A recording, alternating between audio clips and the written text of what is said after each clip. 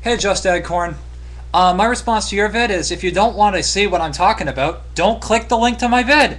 Okay? This video was specifically designed to, as a reply to an atheist who was, um, to put it politely, he was basically uh, putting more critical thinking fallacies in his argument um, than he was uh, supposed to.